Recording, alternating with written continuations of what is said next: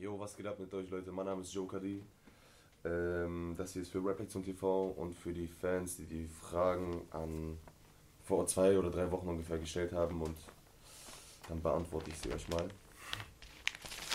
Bin mal ziemlich gespannt, was für Fragen da drin sind. Upsala. Ich möchte die auch mal am besten einmal kurz. Bin gespannt. Alter. Okay, wie alt bist du? 23 Jahre alt. Ähm, wie viele Kinder willst du später mal haben? Echt süße Fragen. Ähm, ich weiß nicht, so eine ganze Fußballmannschaft vielleicht. Bist du vergeben? Ja, an meine Mama. Hm, warte. Was machst, was machst du, wenn ein Fan dich auf der Straße anspricht? Ja, was mache ich, wenn ein Fan mich auf der Straße anspricht? Ja, ich unterhalte mich mit dem und vielleicht, wenn er das Verlangen dazu hat, ähm, gebe ich ihm auch ein Autogramm. Ansonsten, keine Ahnung, entscheidet sich immer spontan. Ne? Was magst du an dir? Was mag ich an mir? Mein Auto. okay. Ähm, gefällt dir unsere Fanpage? Ähm, ich weiß jetzt nicht, welche Fanpage damit gemeint ist, aber mir gefällt eigentlich jede Fanpage, da ich da echt wirklich sehr gut supportet werde und ähm, reichlich Informationen weitergegeben werden, die ich halt gepostet habe auf Facebook. Ähm, was ist dein Lieblingshobby? Boah, wenn ich das jetzt verrate, lachen die Leute mich aus. mein Lieblingshobby ist, also außerhalb der Musik, ist mein Lieblingshobby eigentlich ja, Autos und ähm, ich gucke mir gerne Dokus an. ja, sonst habe ich eigentlich gar keine Hobbys. ja. So, boah, das sind echt viele Fragen. Was hast du an dir? Ähm, ja, ich hasse es an mir, dass ich so ungeduldig manchmal bin und dann auch manchmal schnell auf 180 gebracht werden kann. Wie bist du auf den Namen Joe Cardi gekommen? fragt ein Fan. Äh, ja, als ich angefangen habe zu rappen, hatte ich ja viele verschiedene ähm, Namen. Und der Name Joe Cardi ist halt so gekommen, da ich, ja, was ein Joker ist, weiß bestimmt jeder. Und dieses D ist einfach eine Abkürzung für Dream, also bin ich der Joker-Traum so für die ganzen Rap-Hörer. Lieblingsessen? Ähm, Alter, echt geile Fragen, ey. Lieblingsessen? Boah, was esse ich denn gerne?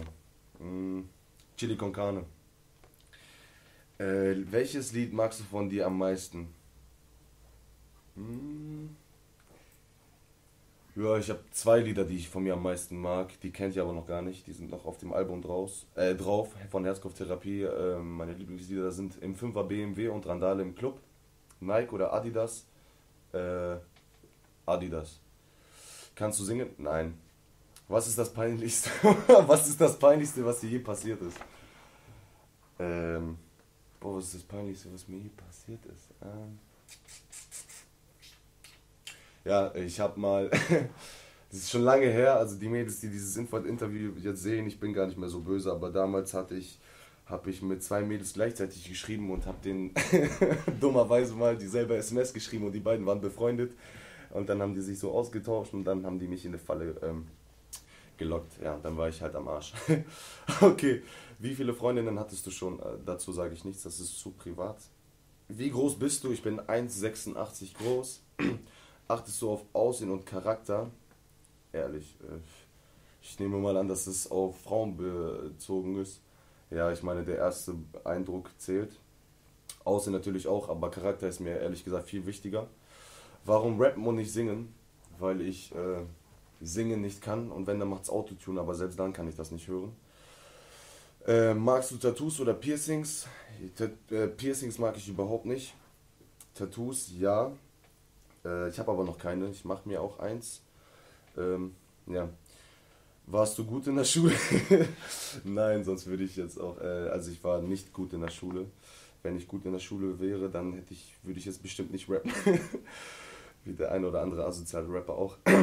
Woher kommst du? Ich komme aus ähm, Russland und ich glaube, damit habe ich auch die Frage beantwortet, äh, sind deine Eltern Ausländer? Nicht Ausländer, die sind Aussiedler. Also unsere Vorfahren waren Deutsche und konnten kein Wort Russisch.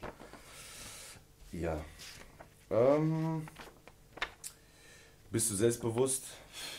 Ja, also ich nehme mal an, dass sie, dass von mir verlangt, dass ich euch ehrlich antworte. Auf der Bühne und in Videos und Infovideos äh, bin ich selbstbewusst, privat. Ja, kommt drauf an, wo, ne? Aber sonst würde ich schon sagen, dass ich eigentlich selbstbewusst bin. Welches Video war am meisten Arbeit?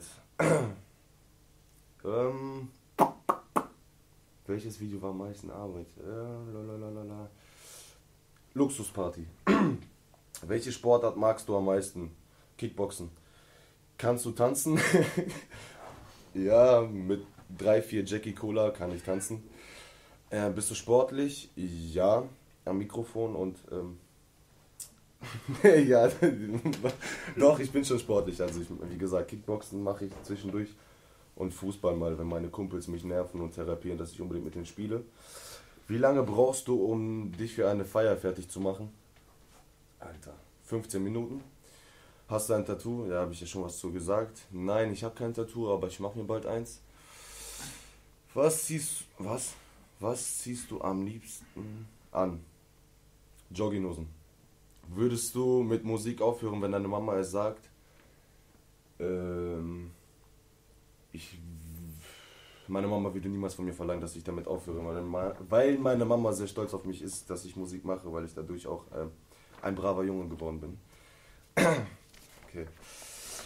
Wie lange willst du noch mit der Musik weitermachen? Also mir ist klar, dass ich damit jetzt nicht irgendwie so wie ein 50 Cent oder ein Bushido durchstarten kann, aber ich kann euch das nicht beantworten. Ich weiß auf jeden Fall, dass ich noch nicht an mein Ziel, Ziel angekommen bin. Deswegen mache ich so lange weiter, bis ich mir selber sagen kann, jetzt kannst du aufhören. Wenn du Kinder hast, sollten sie dann auch Rap machen? Alter, ja, es kommt drauf an, was für ein Rap die machen. Wenn die so einen Rap machen wie ich, dann ja, aber wenn die dann so einen Gangster-Rap machen und Mütter beleidigen und über Drogen rappen, dann würde ich das auf jeden Fall verbieten oder ich wäre komplett dagegen. Junge, Junge, Junge, ihr stellt Fragen, ey. Warum rauchst du, steht hier. Ähm, weil ich, warte mal, vor 14 Jahren ziemlich dumm war und cool sein wollte vor den älteren Mädels. Es ist auch so gewesen. Falls mein Cousin dieses Video sieht, du bist schuld. Ähm, wir waren damals halt mit ihm unterwegs. Meine Freunde äh, waren damals halt immer älter als ich und äh, mein Cousin natürlich auch. Und der hat halt ältere Freundinnen und ähm, er war am Rauchen. Dann sagte ich so: Ja, ähm, Cousin, gib mal bitte eine Zigarette, ich will auch cool sein. Dann hatte ich die Zigarette in der Hand. Äh, statt zu ziehen, habe ich da reingepustet und dann habe ich mich trotzdem vor den Mädels blamiert. So viel dazu. Wie stellst du dir deine Traumfrau Frau vor? Darüber habe ich gestern noch mit Kumpels geredet. Also, ich meine ich bin ja gar kein Star oder so. Vielleicht für den einen oder anderen Ultra-Fan schon, aber ich sehe mich nicht als Star.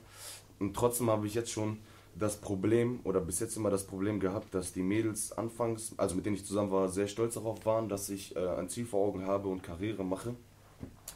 Aber wo sie dann, wo die Beziehung ernster wurde und die halt mitbekommen haben, dass ich wirklich sehr viel Zeit für diesen Traum opfer und halt viel Musik mache, hat es daran so ein bisschen gehapert.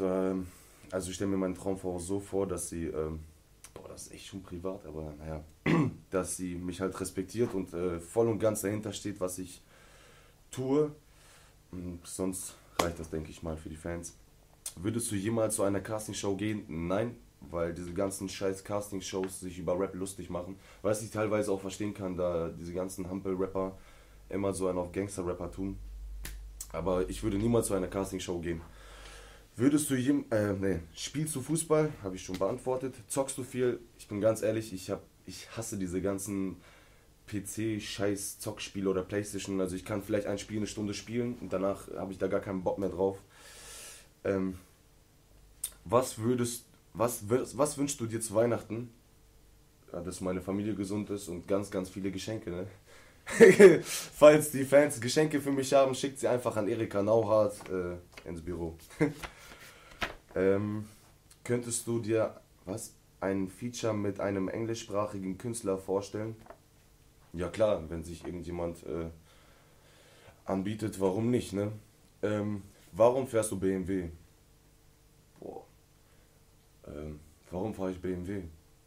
Weil ich keine Ahnung, seit klein auf äh, BMW schon immer cool fand, weil mein Vater auch BMW damals schon fuhr und immer noch fährt. Deswegen halt BMW, ne? Alter, was wir fragen. Geil. Was, was würdest du dir deinen Künstlernamen tätowieren? Niemals. Also ich würde es vielleicht machen, wenn ich wirklich erfolgreich werden sollte, dann vielleicht, aber so würde ich das niemals machen, weil ich das schwachsinnig, schwachsinnig finde. So, das, keine Ahnung. Äh, würdest du deinen Kindern deine, deine Musik zeigen? äh, also Songs wie Herzkopftherapie, Lass ihn gehen oder keine Ahnung, ähm, Randale im Club und ähm, 5er BMW. Also die ernsthaften Songs würde ich meinen Kindern auf jeden Fall zeigen, aber Luxusparty oder Cash Money Brothers würde ich dir niemals zeigen. Dein größter musikalischer Traum? Mhm. Mein größter musikalischer Traum, ja, äh, irgendwann mal von der Musik leben zu können. Also ich kann schon, verdiene schon den einen oder anderen Euro mit der Musik, aber ganz davon leben kann ich noch nicht. Ist Solo besser oder war es mit Rap-Lektion besser? Ähm, Solo ist es viel, viel besser. Also ich meine, ne, äh, lief nicht immer so, wie ich es wollte, aber so kann ich halt tun und lassen, was ich will, ohne dass ich mich rechtfertigen muss. Ähm, ja, also ohne dass ich mich dafür rechtfertigen muss, was ich gerade tue. Aber Replition gibt es ja sozusagen der, ähm, immer noch als Plattform, weil ich darunter, also mit dem Namen ähm, Jugendliche, also oder Kids äh, unterstütze und ja, den Namen habe ich halt extra behalten, weil würde ich jetzt wieder irgendwie einen anderen Namen ausdenken, keine Ahnung, äh, New Records oder so ein Kram würde die Zeitung, also aus Bündel, Herford oder Löhne und Kirchlängern denken, so, hä, was ist das denn jetzt für eine Truppe? Aber Joe, KD und Rap Lektion ist schon ein Begriff für die durch Aktionen wie Luxusparty, Freedom Fahrrad oder Herzkopftherapie, deswegen. Aber auf jeden Fall Solo ist es viel, viel besser, mir geht es auch viel besser und ähm, es ist einfacher und besser damit durchzustarten. Deine Traumfrau, wie soll sie sein? Optik, Charakter? Ja, dazu habe ich ja gerade eben schon was gesagt. Ich hoffe, dass das ausführlich für euch war. Was bist du für oder gegen ein Jugendzentrum? Ich bin auf jeden Fall für ein Jugendzentrum. Was ich auch wirklich sehr schade finde, dass sich die Politik, schöne Grüße an euch, falls Sie zufällig hoffentlich dieses Video sehen, da sich unsere, Ju äh, unsere Politik nicht so anstrengt für ähm, ein Jugendzentrum und uns einfach irgendwo reinstecken möchte. Also ich finde schon, dass Kiddies eine Anlaufstelle brauchen, da ich damals genau in so einer Situation gesteckt habe, ähm, also auch viel Mist gebaut habe und äh, zu Hause hocken ist auch nicht immer gut und man kann mit seinen Eltern halt, ne, vor allem in dem Alter, wenn man so in die Pubertät reinkommt, nicht über alles reden. Und da ist so ein Jugendzentrum ziemlich hilfreich, weil äh, wenn das Jugendcafé zum Beispiel in Kirchlänger nicht gewesen wäre, würde ich heute bestimmt keine Musik machen und ihr würdet mich alle nicht kennen. Siehst du dich als Gangster-Rapper? Auf gar keinen Fall. Ich bin kein Gangster-Rapper. Ähm, das ist sogar eher eine Beleidigung für mich, weil ich nie Gangster sein wollte, weil ich den Leuten immer zeigen wollte, dass man auch ohne Gangster-Rap erfolgreich sein kann, dass man nicht unbedingt Mütter beleidigen muss, Drogen nehmen muss oder nicht unbedingt im Knast sitzen muss, um erfolgreich zu sein. So, ich glaube, das war's. Danke für eure Fragen. Ich hoffe, ich konnte sie euch ausführlich beantworten.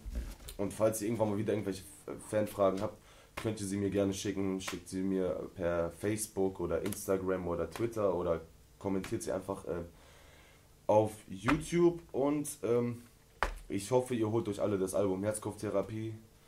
Ähm, es gibt fünf Videos dazu. Eine kleine Tour eventuell vielleicht auch und eine Release-Party. Äh, aber das Datum darf ich euch noch nicht sagen. Mein Name ist Joker D. Ich grüße alle meine Fans. Danke für eure Fanfragen. Peace out.